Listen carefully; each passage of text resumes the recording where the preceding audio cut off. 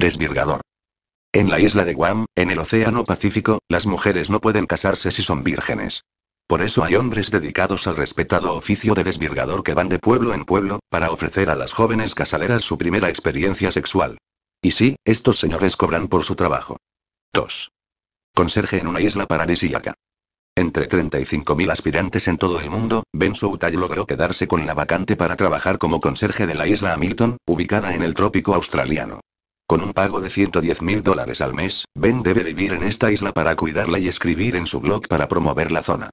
Con una entrevista de trabajo, donde tuvo que relajarse en un spa de la isla, bucear y explorar sus hermosas playas, Ben Soutai vive en una casa con piscina, disfrutando de la isla y sus paradisíacos encantos. 3. Probador de autos. Un trabajo ideal para los amantes de la adrenalina y la velocidad.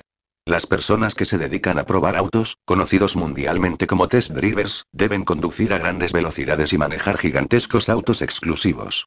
Probar los carros más veloces del mundo, genera un riesgo de accidente inminente, sin embargo es un trabajo excitante y sobre todo, bien pagado. 4. El autoestopista. Estas personas reciben dinero a cambio de viajar, jockeys, gente que espera en los arcenes de las carreteras de Yakarta para que los conductores los contraten como pasajeros extra y así poder circular por las calles en las que solo pueden circular vehículos con tres o más pasajeros. Los jockeys no solo viajan gratis, sino que además reciben dinero por ello. 5. Probador de videojuegos. Para envidia de todos los niños adictos a cualquier tipo de juego de vídeo, realmente existen personas que reciben 1.3 millones de dólares al año para detectar fallas en los juegos y extraer todos los trucos posibles.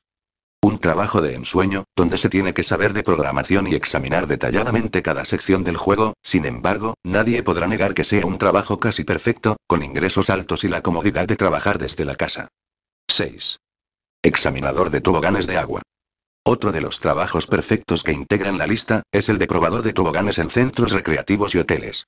Las funciones del empleo están basadas en revisar la altura, velocidad, cantidad de agua y la seguridad en el aterrizaje de los usuarios, lo que lleva a que los examinadores de toboganes viajen alrededor de todo el mundo. Un ejemplo de esto es Tommy Lynch, quien ha viajado más de 27.000 millas para probar los toboganes de centros recreativos de Turquía, República Dominicana y Egipto, entre muchos otros exóticos destinos. 7. Catador de escorts. Una escort es una acompañante remunerada para eventos sociales, es decir, a la que un cliente paga por acudir con él a reuniones, fiestas o salidas a otra ciudad. La contratación puede incluir o no sexo.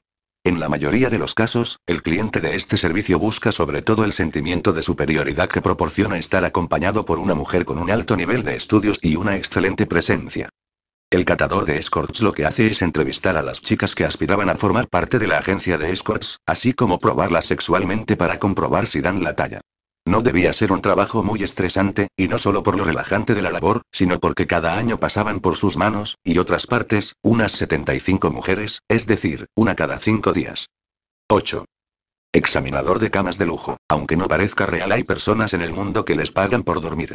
Un ejemplo de esto es Roisin Madigan, estudiante de 22 años, quien gana mil libras esterlinas mensuales por probar camas de lujos diseñadas especialmente para hoteles y luego escribir en su blog sobre su experiencia. La estudiante británica, quien debe dormir en las camas de lujo de 10 am a 6 pm, adicionalmente ayuda a realizar una encuesta de sueño para ayudar a desarrollar camas con los mayores estándares de calidad. 9. Rescatistas de atascos en China. Ser el país más poblado del mundo provoca que a la hora punta las carreteras se conviertan en un caos total. Por eso, existen equipos de rescatistas en scooter, una persona que te lleva en moto a tu destino, y otra se encarga de sacar tu coche del embotellamiento. Claro que no vendrá alguien y te ofrecerá de repente el servicio de rescatista. Existe una empresa que se dedica especialmente al servicio, los empresarios llaman y enseguida le envían la moto. El costo promedio es de 65 dólares, sin duda un negocio muy lucrativo. 10. Custodio de la cola. Hay países en los que la burocracia es algo lenta, y sus ciudadanos se desesperan esperando horas y horas a que los funcionarios les atiendan. Para eso, pueden contratar a gente que les guarde el sitio, mientras ellos disfrutan haciendo otras cosas menos tediosas. Si quieres que suba video al 200% de velocidad dale me gusta rápido.